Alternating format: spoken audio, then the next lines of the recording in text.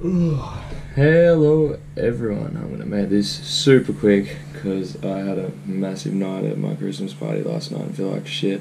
I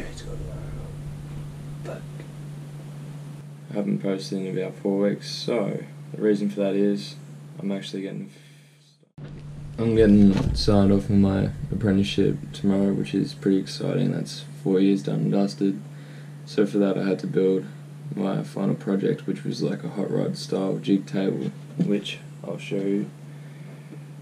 Along with that, I've also been building a car trailer because frequently moving cars, you kind of get sick of moving and having to borrow other people's trailers, so I decided to build one of them, which is going on the road Tuesday.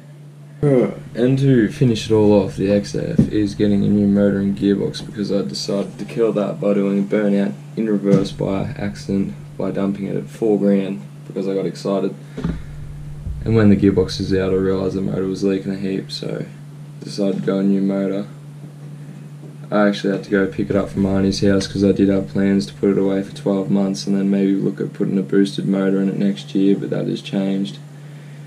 And I decided to keep it NA. The reason it's going to be NA is so that it can be used as a tow rig, having the Hilux and the XF.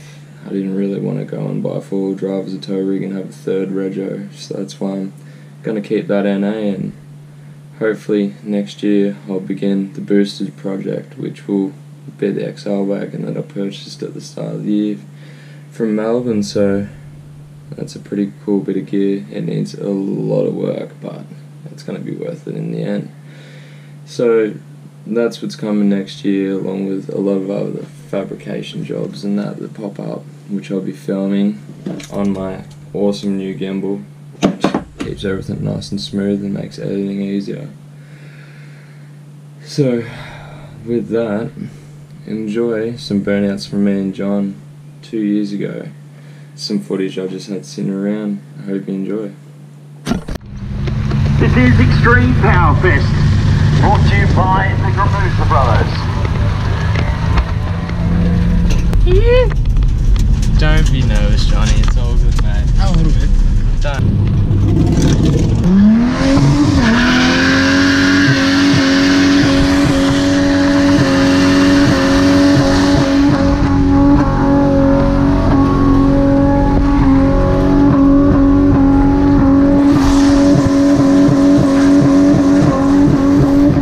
Yeah, boy!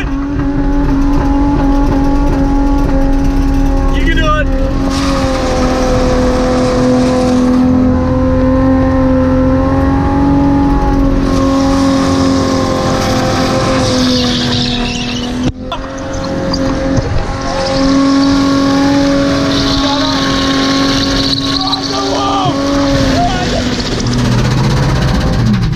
Fuck it.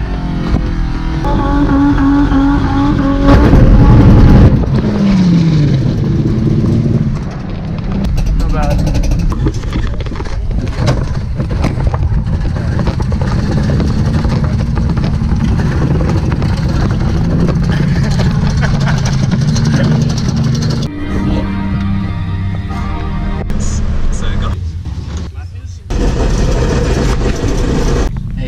Dude?